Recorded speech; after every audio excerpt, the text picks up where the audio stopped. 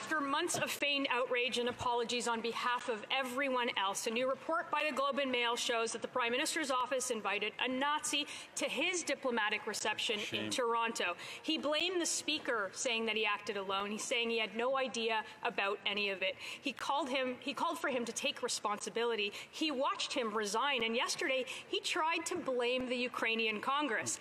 After all of the embarrassment, all over the world. Why is he above the rules that he applies to everyone else?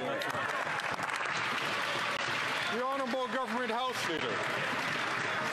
Mr. Speaker, what we're talking about is uh, some uh, name that came from a, a community organization Obviously, the Prime Minister had no knowledge of this, but here we know what is happening over here. We are voting today at third reading on the Canada-Ukraine free trade arrangements.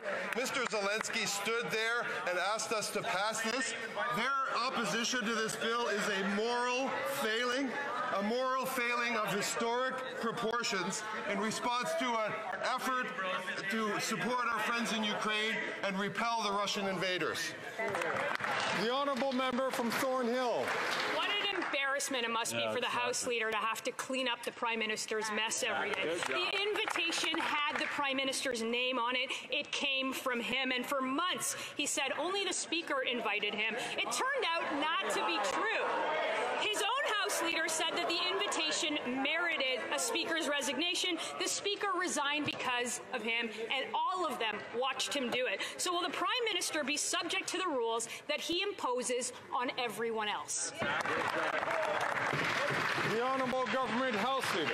Again, Mr. Speaker, another small conflagration to mask their larger historical moral failing That's of right. not supporting the people and the armed forces of Ukraine and the President of Ukraine who stood in this very chamber not months ago and asked us to support the Canada-Ukraine free trade arrangements.